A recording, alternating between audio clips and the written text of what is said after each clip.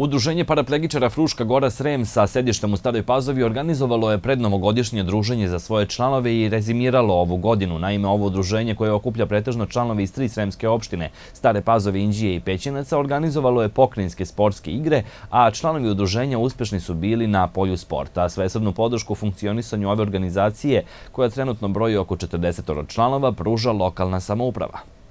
Bili smo drugi na pokrajinskim sportskim igrama paraplegičara Vojvodine. U streljaštvu naša ekipa postiže značajne rezultate. Finalu kupa za osobe sa invaliditetom naša članica je zauzela prvo mesto i šampionka je u ženskoj konkurenciji.